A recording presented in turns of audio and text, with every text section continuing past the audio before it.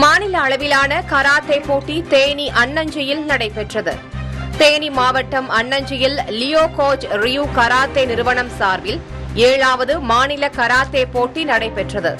ஆறு வயது முதல் இருபத்தோரு வயது வரையுள்ள மாணவ மாணவிகளுக்கு இருவிதமான கராத்தே போட்டிகளான கட்டா என்ற தனித்துவ போட்டியும் குமிட்டை என்ற சண்டை போட்டியும் நடைபெற்றது. இப்போட்டியில் பத்துக்கும் மேற்பட்ட மாவட்டங்களைச் சேர்ந்த நானூறு மாணவ மாணவியர்கள் பங்கேற்றனர். வெற்றி பெற்ற மாணவ மாணவிகளுக்கு மஞ்சள் பச்சை வெள்ளை கருப்பு நிற பெல்ட்டுகளும் கோப்பைகளும் வழங்கப்பட்டன.